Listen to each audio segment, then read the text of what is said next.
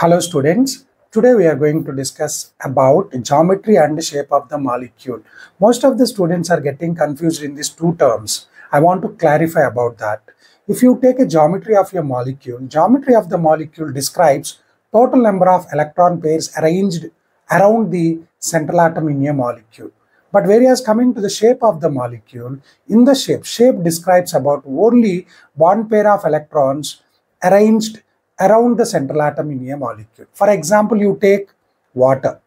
Water, central atom, oxygen atom, and it has four electron pairs, two bond pairs, two lone pairs. So that's why geometry of the water molecule is tetrahedral. But if the shape of the water molecule you see, shape of the water molecule bent shape because we consider only bond pair of electrons, not lone pairs. Have you got it? Clear? Thanks for watching. Bye bye.